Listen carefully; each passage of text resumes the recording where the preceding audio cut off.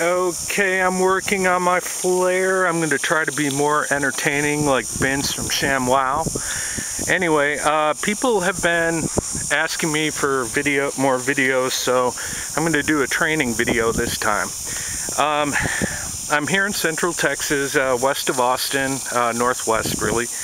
Um, and what you want to look for are big uh, kind of irrigation ditches like this. Um, and then you look around on the on the ground here and you'd be really surprised sometimes at what you can find.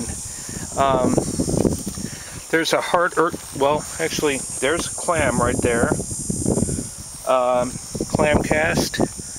Um, oh there's a phymosoma and a heart urchin. Wow that's a nice uh, phymosoma. He's cool uh, another heart urchin right, right there.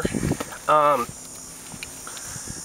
so this stuff is all over the place. Um, so you look for these drainage ditches. Uh, they will be continually washing stuff out of the sides here.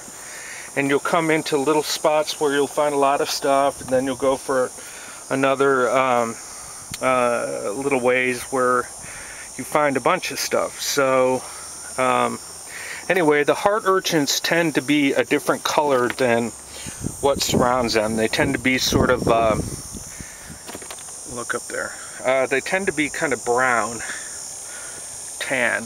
So um, they sometimes stick out of the white sand here. So anyway, so oh, uh, last night I found a gigantic uh, tetragramma that's in perfect condition, so I'm going to make a film of that later too. Bye.